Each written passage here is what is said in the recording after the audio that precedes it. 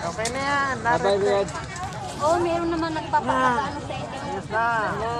Merong naglalagay. Vlog na sa Pilipinas. Sa Philippines. Wala na ng vlog ito. Yan. Puro vlogger na, vlogger. Wala kang masabi. Thank you, Lord.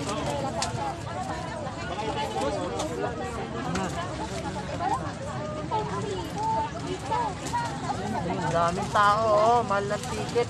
Wala namang social distancing. Jackpot ang Philippine Airlines. 3,250 one way. Ayos. Yan po. Oh, yan oh, social distancing wala.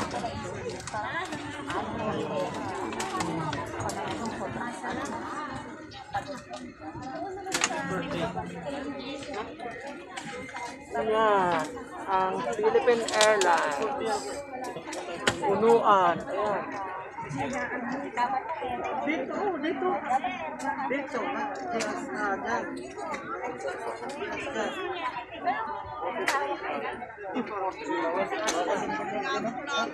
Ayan, pag dugtungin na lang.